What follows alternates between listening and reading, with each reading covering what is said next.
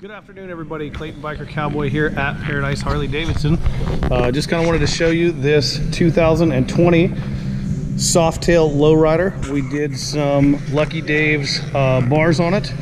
It is a cool bike. If you guys are used to Dynas or any of that stuff, the new lowriders to me feel the most natural. Um, of course, they came out with a 2020 Lowrider S. I haven't been able to keep one in stock yet. I did get to ride one. Thank you, Richard, for that. And they are fantastic. Um, got the forward mid controls on the lowriders. So you got about two more inches forward on your controls. Got mag wheels. The handling is awesome. Uh, of course, I'm I'm not usually with change, and when these first came out, I wasn't real stoked about the end of the Dyna line. And take some of these out and go rip on them and there is no doubt in the world these will outperform any stock Dyna that's ever been in stock form. So I'm super stoked on these 107 cubic inch motor. The S model has the 114 it's all blacked out.